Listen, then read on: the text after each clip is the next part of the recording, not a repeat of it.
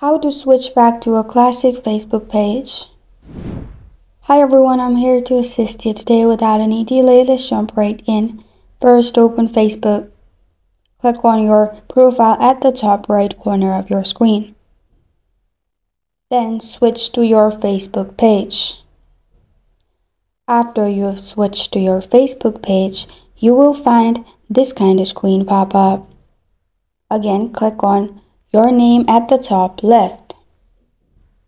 It will open your profile, then scroll down till you find three dots. Click on three dots, and then in here you will find all these options pop up. Search for classic Facebook page. If you don't have that option, what you can do is click on your profile at the top right corner of your screen. Then Simply click on Help and Support, which is below Settings and Privacy. Then click on Report a Problem. Click on Help Us Improve Facebook, which is the first option.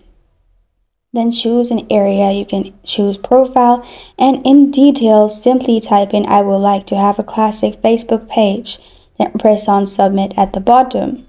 After you have submitted, Facebook will get back to you and make you your Facebook classic.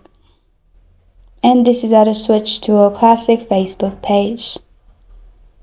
Thank you for joining me today. If this video helps you out, please leave a like and subscribe for more. Got question or want to suggest a topic, comment below. Thank you for watching.